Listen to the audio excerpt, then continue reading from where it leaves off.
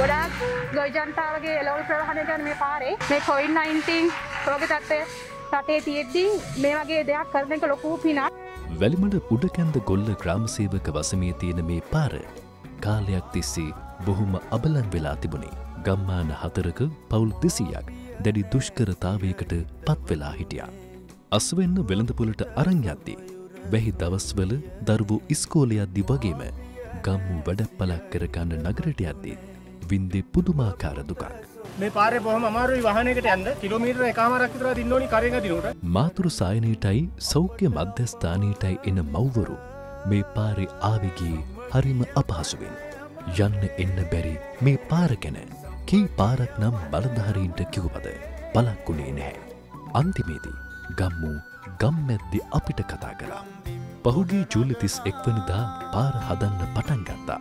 සියල්ල සිදුවෙන්නේ ගම්මැද්ද සවිය සංවිධානයේ ශක්තිය.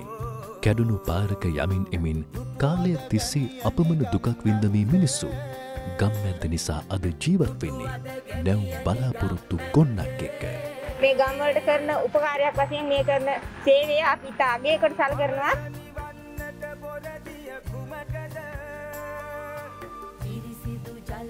නැගරේ